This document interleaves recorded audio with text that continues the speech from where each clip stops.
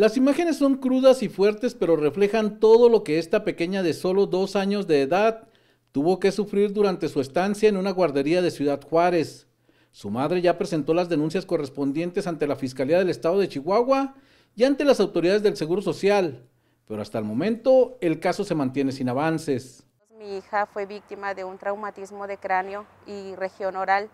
Eh, esto debido a que una maestra colocó de manera imprudencial una base metálica en el que ellas ah, ponen como los colchones donde los bebés duermen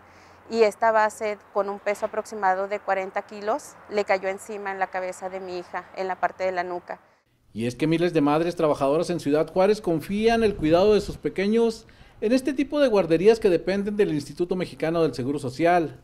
Pero en casos de maltrato como este dejan secuelas muy importantes en la salud mental de los niños, de sus madres y en general de toda la familia.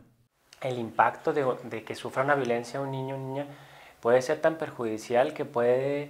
eh, en estos eh, casos afectar la confianza hacia las personas la denuncia se hace pública, pero ya existe una carpeta de investigación, sobre todo para que el caso no quede en la impunidad y que las madres trabajadoras puedan dejar a sus hijos en buenas manos sin temor a que corran algún tipo de riesgo en los lugares en donde se supone que deben de ser cuidados. Que la ciudadanía sepa también la forma que trabajan las guarderías, el que ocultan la información y que no la llevan a las autoridades correspondientes. Si yo no hubiera exigido a la directora que presentara la denuncia, ella jamás lo hubiera hecho. Por su parte, autoridades del Instituto Mexicano del Seguro Social, a través de un comunicado, mencionaron que debido a que hay una investigación en curso, no pueden dar declaraciones en cámara, pero que se está colaborando con las autoridades en esta investigación para llegar a la verdad del caso y tomar las medidas que garanticen la seguridad de los niños.